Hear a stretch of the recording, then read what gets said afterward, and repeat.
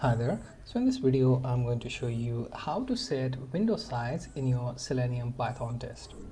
So make sure that you have Selenium Python installed and also open one text editor and save the file with name demo.py. Now you can name any file name of your choice.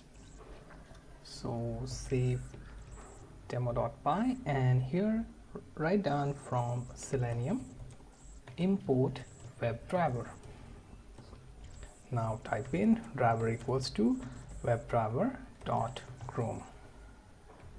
Okay, now driver dot get method here you can give any website of your choice and after that you can take some pause before resizing okay and if you want to test let's say responsive layout then google.com may not be the right choice.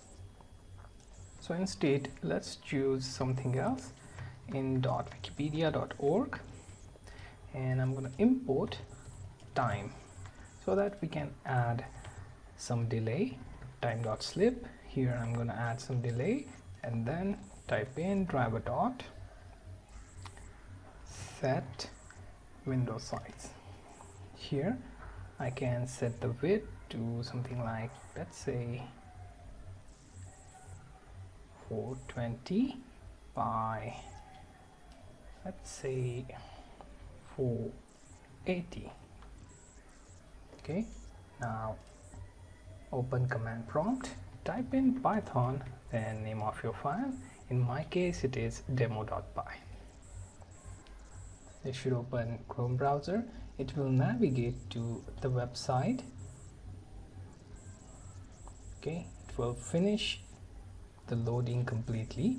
Then take some pause and then it will resize.